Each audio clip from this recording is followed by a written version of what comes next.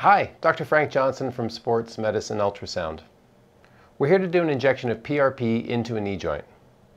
Now my patient has some arthritis in her knees and she's not super keen on a replacement for lots of different reasons. She had an amazing response to PRP in the past and we're looking to recreate that today.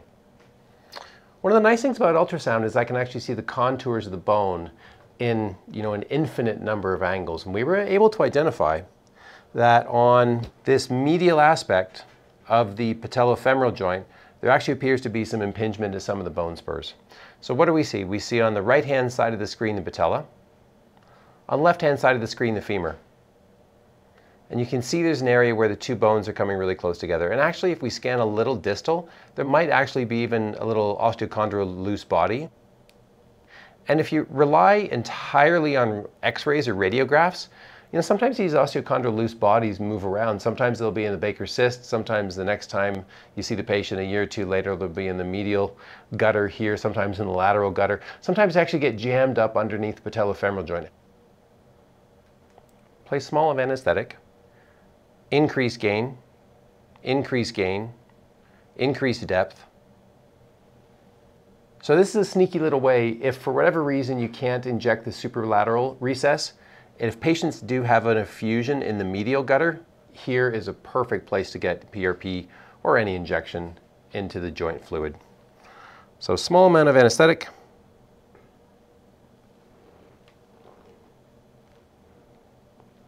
So let the anesthetic kick in for a second.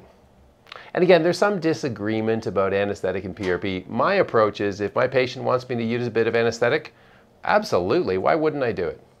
There's nothing that I've ever seen that says anesthetics inactivate stem cells or PRP, uh, apart from in a petri dish.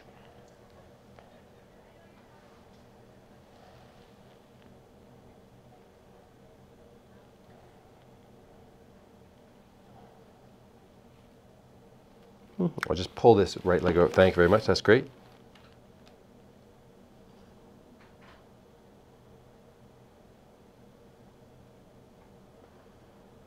Excellent. We can make out the needle coming in from the top left of the screen.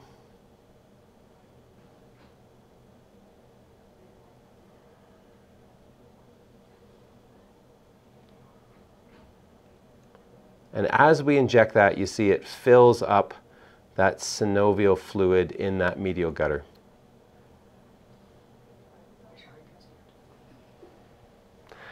And that's it. So once again, if you're really struggling to do an intra-articular knee injection from the front or the suprapatellar recess, the patient has fluid in the medial gutter, nice easy way to do a knee injection.